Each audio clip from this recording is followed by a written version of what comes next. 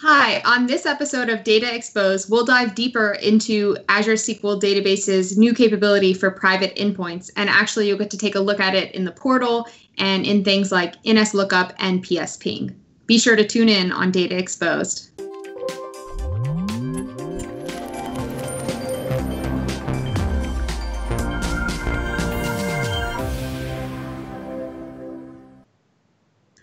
Hi, my name is Anna Hoffman, and welcome to this episode of Data Exposed. In the first part of this video, which we encourage you to go watch, we'll put a link for it in the comments. Um, Rohit covered what is private endpoint, um, which is a new feature for Azure SQL Database, among other services in Azure. In this video, Rohit's actually going to dive into what this looks like and how it compares to the public endpoint. So, Rohit, thanks for joining us again, and we're excited to see what you have to show us. Thank you, Anna. So, let me share my screen and just uh, walk everyone through the setup first. Uh, so, in the previous video, we talked about the simple scenario, right? Which you have uh, uh where you have a, a SQL database and a client VM. So, I've set up the exact same thing here I have my SQL database in West US and my client VM, this is in East US. And let me just open up the client VM here. So the client VM typically has two IP addresses. And this is important because this will set the context for us to understand how connectivity changes between public IP address and the private. So just keep this in mind here 40.117 is the public and the 10914 is the private IP address. And for my demo here, what I'm going to do is first show you how it looks like when you connect from the public IP address, which means you're using the public endpoint. Then we'll actually go through the process of setting up a private endpoint, and I'll show you how the private IP connectivity looks like. Okay. Cool. So stay with me here. And uh, so let me go to my VM. So this is my client VM. And the first thing I'm going to do is just try to verify when I do an NS lookup. So the NS lookup is just checking what is the DNS resolution for my uh, server, right? So this is my demo SQL server. And typically, uh, when I get this result back like this, this is telling me that it is going to the public SQL gateway in the region. And then these IP addresses, this is a public IP address for the gateway, and we have published this in our docs, right? So that is one quick way in which you can uh, check where your connection is going to and whether it is using public connectivity to SQL database. Next, we just run a psping command. This is a uh, Mark Russinovich uh, written tool. And all this does is tries to uh, ping that particular uh, server on port 1433. And again, we see it is resolving to the public IP address of the SQL gateway. So let me try to log in. And so here you're using SQL CMD, which is pretty common tool for for using um, for connecting to Azure SQL Database along with SQL Server. Um, is this something you use for testing networking often? Yes. Uh, so when testing networking, I prefer to do it uh, old school, if you can say that. Just stick to the command line because that keeps uh, that gives you the minimal functionality that you need without you know taking any dependency on any tool. Right. So I now, don't need. What, yes. Now, what I wanted to show you here is I just logged into the master database and just did, there's this DM exec connections, DMV, and I queried what is the client IP address that I'm coming in from. And you see here it's showing me this 40.117 address, which is the public IP of the VM. And I need to whitelist this for the connection to work, right? So I've already done that ahead of time.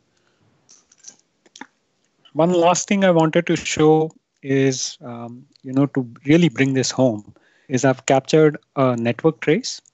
And in this network trace, what's the interesting piece is you'll see two sets of IP addresses. So you definitely see the source IP addresses for the our VM here, and the destination IP address is the IP address of the SQL gateway in the region. And as you look at some interesting frames here, like you have a pre-login, you have a, uh, this TLS handshake going on, and all this is happening where you're interacting with the SQL gateway. And then you will see, and all these interactions with the gateway will happen on port 1433. Okay, so that's the first hop. And this, this is where you see the second hop when you get redirected to the backend node. And you will see that the destination port here is 11031. So if uh, listeners go back and look at previous video, uh, we said that when you get redirected, your destination port is in, the, in this 11,000 through 11,999 port range. So that's what we are seeing here in the network trace. Okay. So this is just to bring the point home about how public connectivity works. And now let's go look at how we use our feature. So here, what I'm going to do is I have my, as I said, my Azure SQL database. This is in West US. And I'm going to create a private endpoint in the same virtual network as the VM in East US. So the whole idea is I take an IP address from the same uh, private IP space and I create that link between that IP address to the SQL database, which is in a different region. So how do we do this is under the server, you go to the private endpoint connections blade and click on this plus sign. And again, it's going to ask you for three inputs. Number one is definitely what's the name you want to give it and the region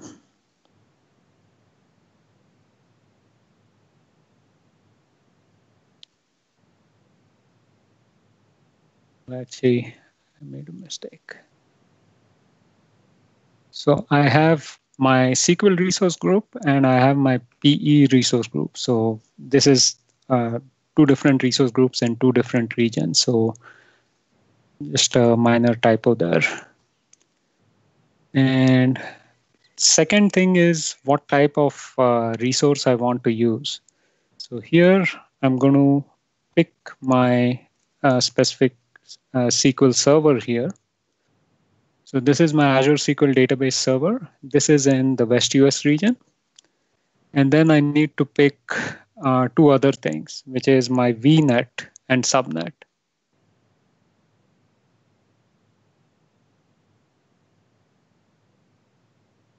So this is my VNet and subnet. This is in East US, which is the same where I have my client VM. And this is the third piece. This is I'm creating a new DNS zone that has that will do the translation.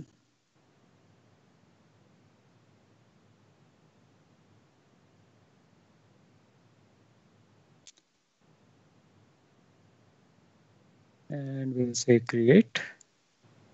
Now, Rohit, while this is kicking off, so what yes. we have is we have a SQL database server, and that's in the West US region. Yes, let me go back. So while there's a good one, let me yeah. go back and just reinforce what we are doing in the demo here. Is we have a SQL database server in the West US uh, region, and my client VM is in the East US region. Got it. For my client VM to connect to West US, what I'm going to do is I'm going to create a private endpoint in this same resource group and in the same VNet, which contains my client VM. So essentially, we are making sure that client VM talks to the SQL database via the private endpoint there's no reason that my private endpoint needs to be in the same region as my um, SQL Server or SQL database, right? Correct. That, that's a very good uh, point that you bring up here, Anna, which is all these three components, right? Uh, the, the, the resource that you're creating the private link to versus the private endpoint location versus where your clients are connecting from. This can be in three, totally different regions. They are not interdependent. However, by keeping it in the at least keeping the client VM and the private endpoint in the same region, I cut down the need to set up any more networking right. uh, connectivity by using VNet peering or like this is just a simple scenario. But uh, our customers also use like a hub and spoke scenario where they have clients in different spoke VMs and then you can uh, spoke VNets, and then you can have one specific VNet dedicated for all your private endpoints, and just uh, allow the traffic from the client to that uh, VNet. So this is where I think we might let's take a pause for a minute or so because I think this takes a while to finish. All right, so that took a little bit, but the deployment succeeded. And let's look at what actually got deployed. So uh, it's probably easier to go back to the dashboard here. And what you'll see is go to the resource group. You will see three new things that came up here. So definitely the first new thing is this private endpoint, right? So as we had talked about in the previous video, all this is is a wrapper around this private IP address here. And then you see how this uh, FQDN for your database is mapped to the private IP. So this resource stores that mapping. Okay. Second thing that got created is the actual private IP address itself. So this is sh shows up as a NIC but essentially all it is is it's a uh, this NIC is associated with the private IP address. I think you see it here. Yeah, 10904.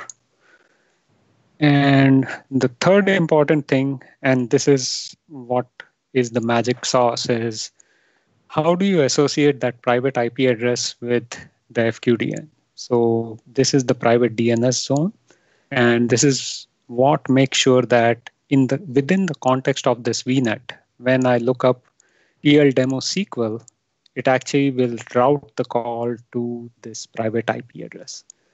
So now that you've seen what resources got created, let's go back to our VM and see how this actually works in practice.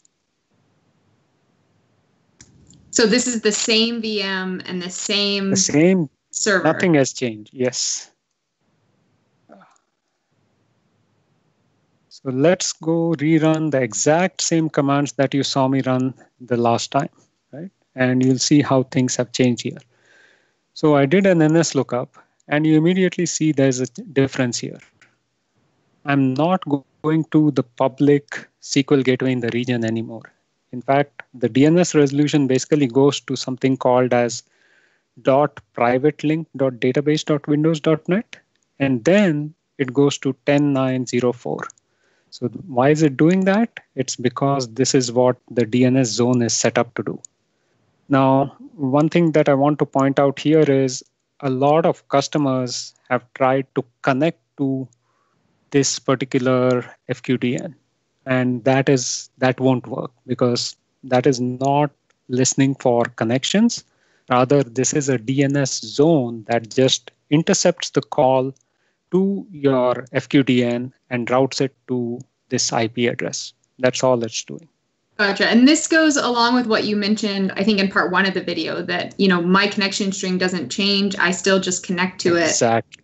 Yes. Gotcha. Yes. And and and the other thing that we have heard from customers is, hey, I created this private IP address. Can I log in to the IP address itself? And again, the answer there is that's not supported because the whole idea here is you don't need to change your connection string. Right? Now let's see what the psping command does. Now here, what you'll see different from last time is again, it's it's going to 10904, which is my private IP address and port 1433. So I'm no longer going to the public IP address, right? Which is the same thing we, we even saw last time. And then here, let's go.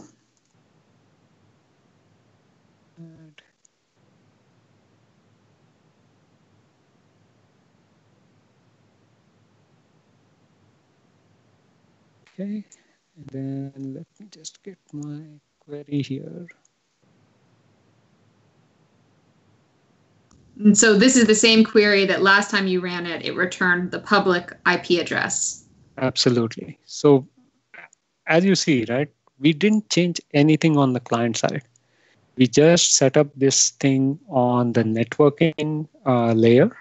And now automatically what happens is as long as you are in the context of the VNet and you try to connect to this particular uh, server, you are always going to be connecting via the private path. And then, you know, you, this is reflected in the client net address, which is 14 is my IP address for the client. And then one last thing I wanted to show to bring this home is captured corresponding netmon capture on a similar setup on another machine. What you'll see is you only end up interacting with one IP address, right? In the uh, previous uh, interaction, you had to go to the SQL gateway and then you had to go to the backend. Whereas here, you're only doing one IP address. So that is the big uh, security takeaway here is your surface area is drastically reduced because you now have just one IP address to protect, and it's always going to be on port 1433. So wow. really cool. That, yeah, so that was a very high level of how this feature works. I think the key things that I want people to take away from uh, this demo is uh, three things, right? One is by going to the private path, you reduce your surface uh, for data exfiltration because you just have one IP address right. that you can connect. Second thing is uh, you, you don't need to change your connection string. So do not try to connect using private link.database.windows.net or using the IP address because you are not you don't need to do that. You just your app needs to work exactly as it is today and uh, yeah, so that was my demo, and hopefully uh, this helps people uh, understand this feature a little bit better and uh, helps them with some of the FAQs that we've gotten around this so far.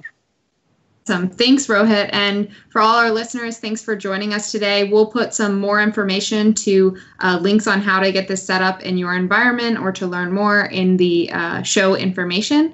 And um, if you like this video or have any questions or comments, please leave them in the comment section and tune in next time on Data Exposed.